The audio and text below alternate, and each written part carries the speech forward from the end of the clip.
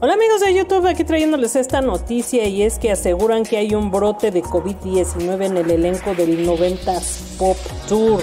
Esto debido a que se sabe que las últimas semanas se han incrementado los contagios en México, así como en varias partes del mundo, ante las diferentes variantes existentes y la nueva ola que se ha despertado tras relajarse las medidas preventivas el mundo del entretenimiento está siendo víctima de esta situación y en estos positivos que casi es la mayoría se encuentran incluidos personal técnico, staff y talento.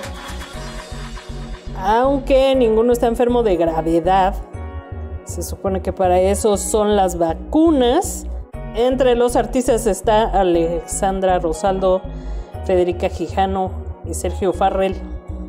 Angie y Carla Díaz de JNS, Elías y Alan del grupo Magneto, así como los integrantes de Caló y la cantante Linda. Y entre los sospechosos se encuentra Patti Cantú, Fanny Lu, Dulce María y Yair, que han convivido con los contagiados.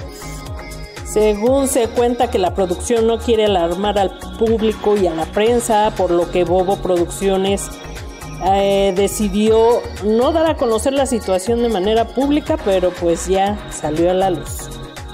En fin, ¿ustedes qué opinan al respecto? Comenten, compartan, denle like y no olviden suscribirse a nuestro canal. Seguiremos informando. Muchísimas gracias.